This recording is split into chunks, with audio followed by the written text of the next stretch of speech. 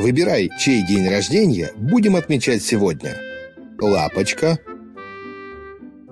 В имениннику. Подарки разделены на три категории. Чем больше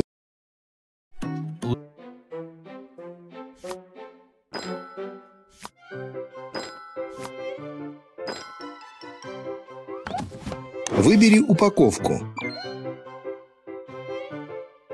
Повяжем ленточку. Добавь бантик. Ух ты! Вот это да!